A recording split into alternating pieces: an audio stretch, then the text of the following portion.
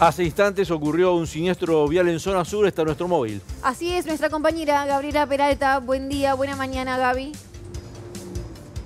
Buena mañana para todos. Nos encontramos en la intersección de Primero de Mayo y Amenábar, donde se produjo un siniestro vial entre dos vehículos, puntualmente un Citroën C3 que avanzaba por calle Primero de Mayo y un Volkswagen Suran que lo hacía por calle Amenábar. Al llegar a esta intersección, el conductor del Volkswagen Suran se encuentra con el tránsito de un colectivo y es por eso que detiene algo su marcha, de acuerdo a sus palabras. Sin embargo, no llega a visualizar que avanzaba este otro automóvil, el Citroën C3 de color blanco, que producto del impacto recibe puntualmente un golpe en el lateral izquierdo, aquel que corresponde a la conductora, una mujer que se encuentra en el lugar y que no ha padecido heridas de gravedad. Lo que se observa en el vehículo es el impacto de este Volkswagen Suran y como verán también el daño sobre lo que es la rueda delantera izquierda, una rueda que quedó completamente destrozada y que ha llevado a que el vehículo quede aquí estacionado. El otro automóvil también padeció daños cuantiosos, como pueden observar, en la parte frontal y también por esto se ve imposibilitado de movilizarse de este sitio.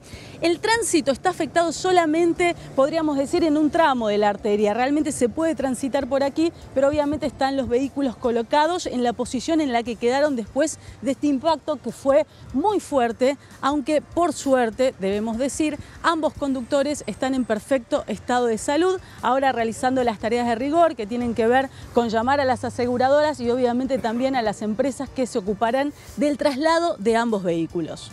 Gaby, ¿la calzada está liberada en este momento?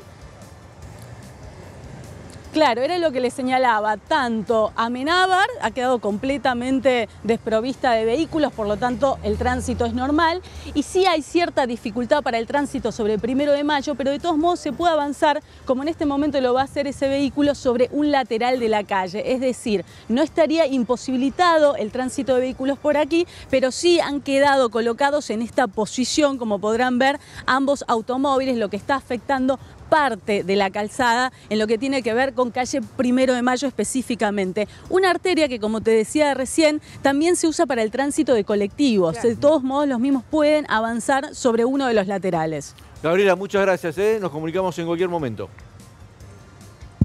A ustedes.